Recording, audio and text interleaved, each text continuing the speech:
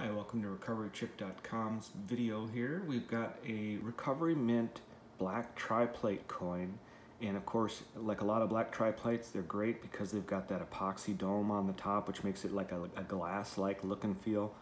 But what makes this different is that uh, Recovery Mint has installed Swarovski crystals in the center Three Legacies triangle. And, and this one's called the Rainbow Design because it's got you know, red, orange, yellow, green, blue, and purple crystals installed and one in the back right in the center.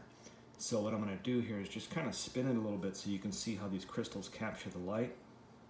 You know, like a lot of these epoxy dome tri-plates, you're going to get a great effect when it changes in the light.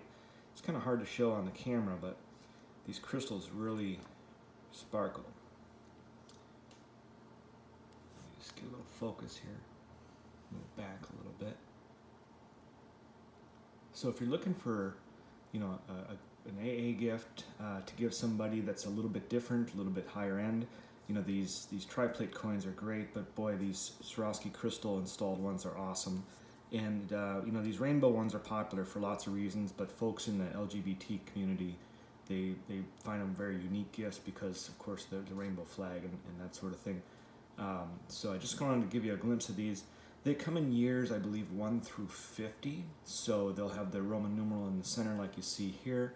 You can find them at recoverychip.com.